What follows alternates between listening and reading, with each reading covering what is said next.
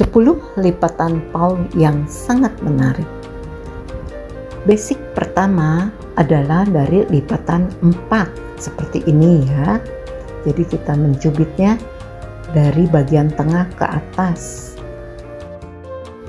Adonan bapau harus benar-benar rileks sehingga lipatan-lipatan tidak mudah terbuka. Sekarang kita akan membuat lipatan 6 dimulai dari lipatan 4 kemudian kita urai kedua lubang yang berseberangan ini. Ya kita satukan seperti ini sehingga menjadi lipatan 6 ya dari lipatan 6 kita urai kembali bisa menjadi lipatan berbentuk dogi. Ya seperti ini kita bentuk dulu lipatan 6 Kemudian pada kedua sisinya kita hadapkan ke bawah. Nah, di sini sudah terbentuk wajah dogi. Kita akan beri titik hitam menyerupai mata. Ya, sekarang kita akan membuat uang emas dimulai dari lipatan 4 kedua ujungnya langsung kita cubit seperti itu ya lipatan lotus kita mulai dari lipatan 4 kemudian kita tarik salah satu ujung ini dijadikan satu. Kemudian kedua bilah bagian atas disatukan ke bawah. Nah ini adalah bunga lotus. Nanti ketika dikukus akan mekar ke kiri dan ke kanan lipatan 8 adalah basic dari lipatan 4 kemudian menuju lipatan 6 kemudian sisi yang belum terjepit ya kita jepit terakhir. Sekarang terbentuk lipatan 8